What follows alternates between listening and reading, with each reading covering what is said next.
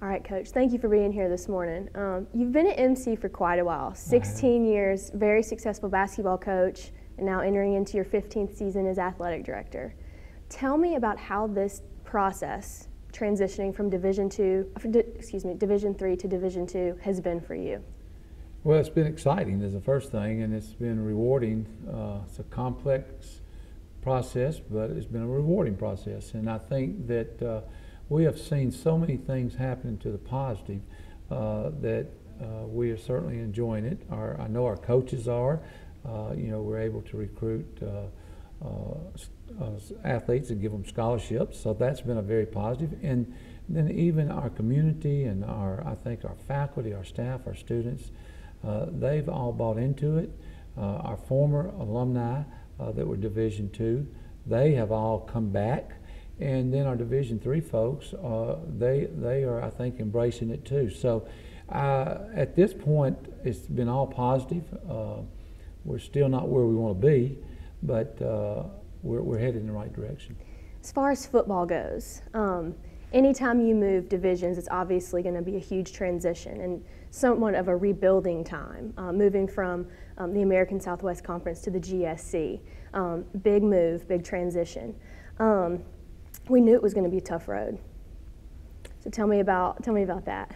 Well, uh, when you look at the you know the the big picture, uh, I, everything's happened that that uh, I thought would happen. Uh, the sports that I thought would be competitive quicker have, and the sports that uh, that haven't done as well is, is what I thought would happen. And, and in all honesty, you know, football has got so many moving parts, so many people and, and in a lot of sports, you can take two guys or three guys or two girls or three girls and have immediate success. Mm-hmm. In football, that's not going to happen. So it's going to be a longer process, but we're making uh, strides to, the, to where we want to be. We've narrowed the gap. We've had uh, two very good recruiting years and, and have an expectation to have another good recruiting year. And so when we get all of our, our guys in here, and then on that fourth and fifth year, that these new guys come in, I think you'll start seeing us be very competitive. So it, it's a longer process, mm-hmm. and, and some of the other sports are going to take longer too. Mm-hmm. In 2014, the Choctaws were one and nine.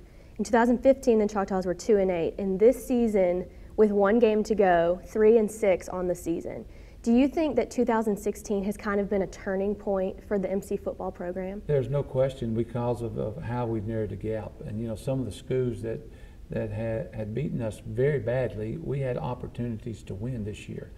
Uh, you look at West Georgia and Valdosta, I mean, we had chances to win both of those games. And then last week, you know, we shut out Shorter in our first Gulf South Conference win. So, yes, I think it's a turning point, and I think it's given our kids confidence. Uh, you know, I know that they're not happy and don't expect them to be, but they also have, uh, have had a hard time, and, they, and they're a big part of building – a foundation for our future. And I think that these kids have done a great job, and I'm, I'm real, real proud of our coaches in, in all areas. Speaking of coaches, um, when Coach Bland came in in 2014, uh, he knew that this would be a long road, like you said. How have you kind of been an encouragement to him over the past few years? Well, I, I try to talk to him uh, each uh, each game day, after the games, before the games. I try to go by and see the coaches. I try to encourage them uh, and, and tell them Rome wasn't built in, you know, in a day. I try to tell them there's a, we're, we're doing the things that we're supposed to do. And let me say something about our football staff. They do it right. And, and, and in all areas, and I'm talking about from recruiting to paperwork, uh, they and, and following the rules, they do everything the right way. And I'm convinced that uh, when you do it the right way, you're going to reap rewards. I don't know when that time's going to come, but all of our coaches are doing it the right way. Uh, we have gone through a great process. We've had a great team.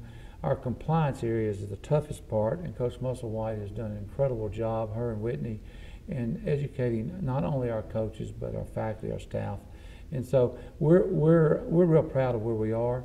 Uh, but, you know, I, I, know, you know, Coach, uh, Coach Bland's never been a loser and he's not a loser. Mm. His staff's not a loser. So uh, I know sometimes they get frustrated, but we we try to encourage all of our coaches that are having a difficult time, but but they're they're going to be they're going to be uh, uh, winners in the near future.